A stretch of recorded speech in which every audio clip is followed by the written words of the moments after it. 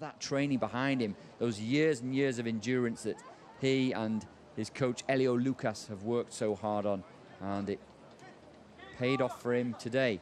We're going to look at the C1 men 1,000 meters coming up shortly. As you can see, single-bladed paddle, slightly heavier boat than the kayak, and very, very unstable from the start. Although Ali Urania showed that if you stick to your race plan, that can work because he came through strongly over the second half of the course there. Right, here we can see the lineup the C1 men 1,000 metres. So Carlo Tacchini, as you see there, the Italian, he'll be in lane one. We'll see him very shortly up at the 1,000 metres. There he is. He's been there or thereabouts for a long time, hasn't he? Fourth place at the Europeans this year. He was eighth at the World Championships, often a World Cup finalist, Carlo Tacchini. Alongside him, Cubans. Cubans ever developed. There he is. Barefooted, as many of these C1 paddlers are. Cubans are so good with their technique. They have some great coaches. Paddling with his brother, brother Petter as well.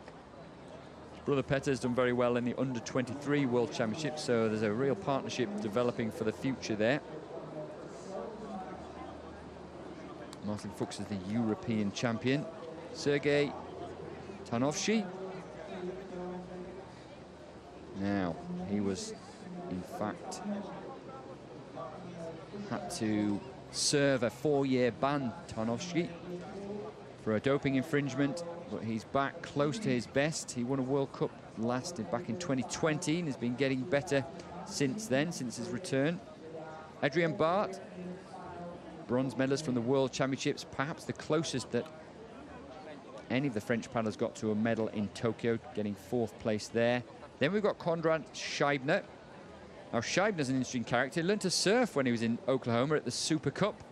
He had a surf wave there. He'd never tried it before, and um, picked it up within a day. So very talented when it comes to anything on water for Conrad Scheibner. Sixth at the Olympic Games for him. Balázs Adolf, Hungarian, made the B final of the Olympics.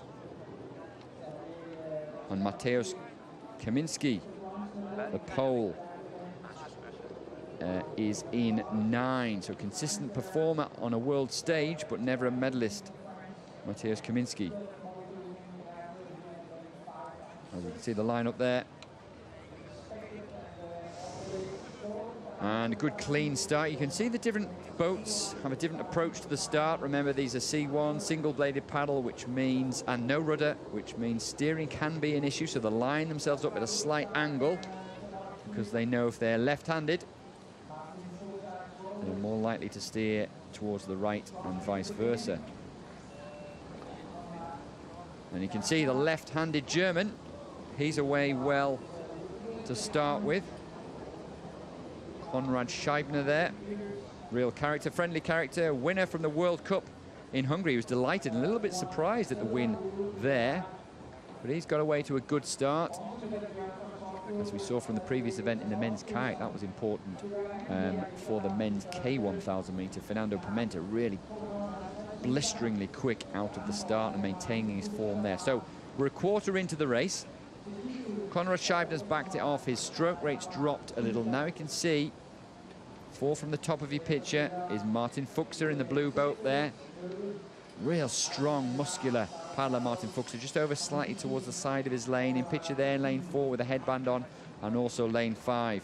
Sergei Tarnovschi has had a very difficult road back to this sport, been on his own, training on his own for a long time.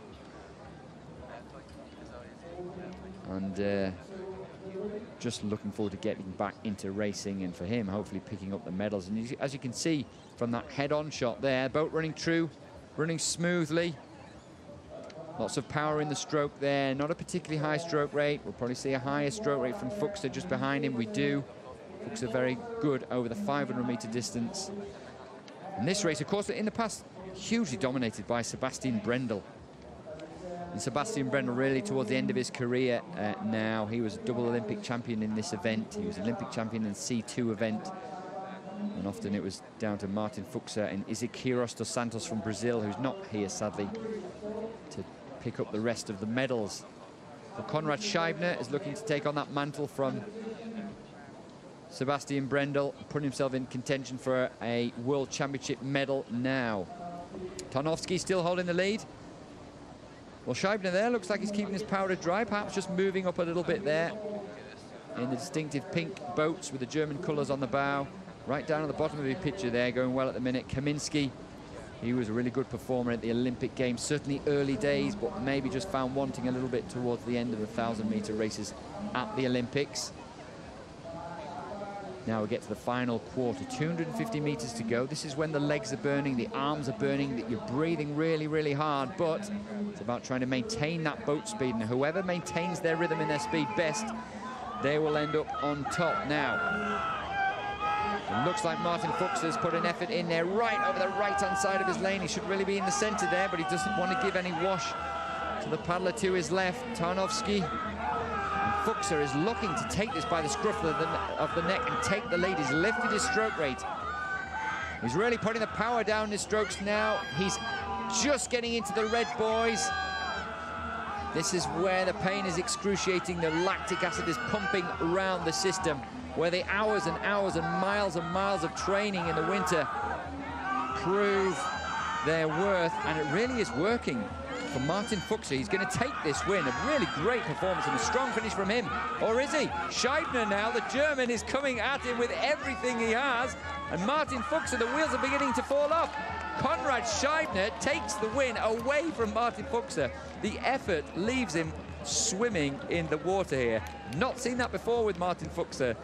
Takes a swim in Lake Bagsværd and Conrad Scheibner, the young German, well, he got away to a fast start. He showed his speed, didn't he? He kept his powder dry in the middle part of the course. You can see what it means to him. Lets out a yell, Conrad Scheibner, and what a great performance. And timing was everything there. He takes the win ahead of Martin Fuksa. Difficult to work out the third place. We'll see that in just a moment. Look at that. The last five, six strokes, Fuksa had given everything. He's almost out of his boat over the line, so that'll have to be double checked. And then, right next to Conrad Scheibner, Adolf. Balázs Adolf from Hungary taking the third place. Just sort of quietly moving through from him and maybe just trying to track Conrad Scheibner in the lane next to him helped Adolf to take that bronze medal. Came through really, really strongly, but really it looked like it was Martin Fuksa. There he is in picture really strong in the middle part of the course. Thought we had enough. Thought that Scheibner had left it too late. He hadn't.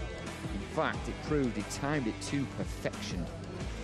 Well, the winner from the World Cup in Szeged in Hungary earlier in the summer now takes the win here at the World Championships in Denmark. Great performance from Conrad Scheibner. Conrad, uh, congratulations, you're now a world champion. Well done. Thank you. Thank you. It's really unbelievable. After I wasn't too satisfied with my performance in Tokyo, I said I wanted to do my best race here, and obviously I, I did. The last, the last 50 meters was incredible. Oh, yeah, we had a change of tactics, and uh, I really also want to thank my coach at home because he was the one who said, okay, stay cool.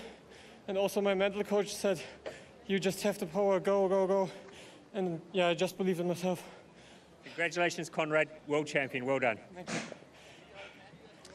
There you go, self-belief to stick to his race plan. He knew what he had to do. He executed that perfectly. Over half a second ahead of Martin Fuksa, only really in the lead over the last couple of meters that, of that race. Balázs Adolf taking the bronze medal.